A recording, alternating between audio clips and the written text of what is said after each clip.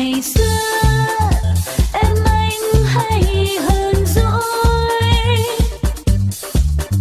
giận anh khi anh chưa kịp tới. Cho anh bồi hồi, cho anh nhiều lời, em cúi mặt làm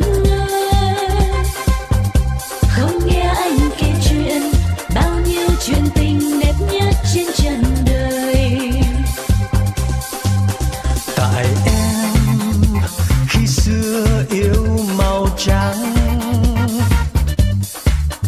Tại em suy tư bên bờ vắng,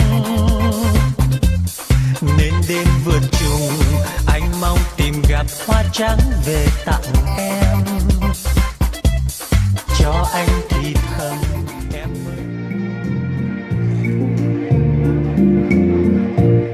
Một lần xa bên bao nhiêu là buồn.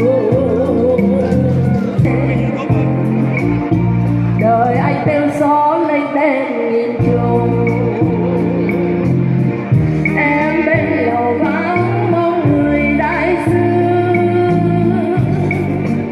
Xa bên một lần thắm thiết tất cả từ những cái chi tiết bao giờ tổ chức tổ chức ở đâu? Và có những, tổ chức có những gì?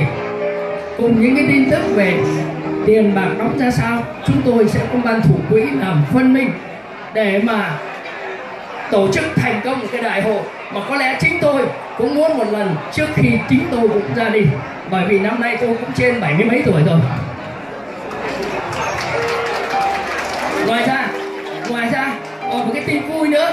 Chúng tôi muốn muốn chuyển đến quý vị là niềm mơ ước của hội bạch đằng chúng tôi làm sao dựng được cái đức tượng đức thánh trần tại San Jose và do một cái cơ duyên có thể là đức thánh trần đã phù hộ.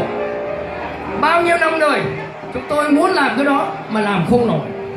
Mà kỳ này, tình cờ, một sự tình cờ, cái anh mà chủ cái thương xá Century Mall Center ở San Jose là lớn nhất mà bây giờ có lẽ người Việt Anh, cái anh chủ đó, và anh đã chấp nhận cho chúng tôi nếu quý vị nào đã đến San Jose, thì ở ngay cái vòi nước xịt ra ở trước cái Paloma Coffee, thì tượng Đức Thánh Trần cao 5 thước đã bắt đầu xúc tiến từ ngày hôm qua.